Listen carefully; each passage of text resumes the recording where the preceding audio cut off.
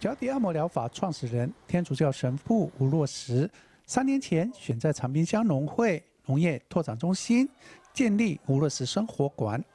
协助新住民及周边部落居民学习专业脚底按摩技能，让他们有就业的机会。最近却无意间遭到撤换，让他们相当不满。有如果有你有想跟他们进来，要先跟我们讲嘛。因为我们都没有心理准备，什么我们觉得有有一点不舒服了，这样就哦，甘愿就回来这边看看后面什么去处理了。吴神父得知消息也相当愤慨，已经请工作人员回到长滨天主堂学习中心服务，同时喷起长滨乡农会剥削劳工，更聘请非吴神父协会认证的脚底按摩师傅。农会反驳这些说法。农会也要邀请那些没有执照的人呐，哈，没有跟我们的师傅一样学的那么好，要给他们机会工作，这个就就会引起冲突啊，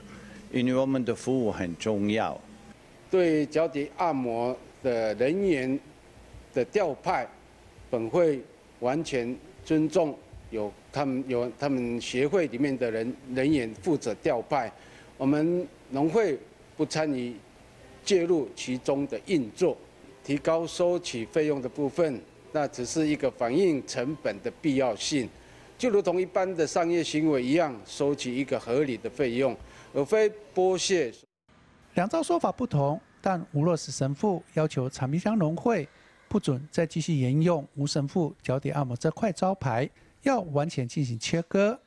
我们要求不要用我们的名字，比方说脚底按摩养生馆呐，或是用这个名字，就不会跟我们不会有冲突啊。因为我们这里的目标就是真的服务的很彻底，尤其是面对健康有问题的人就是有这个差别。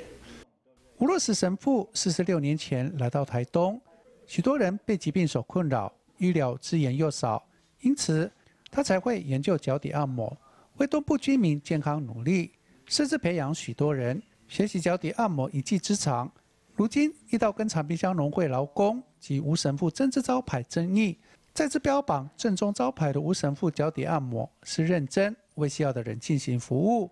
记者法务的台东长滨采访报道。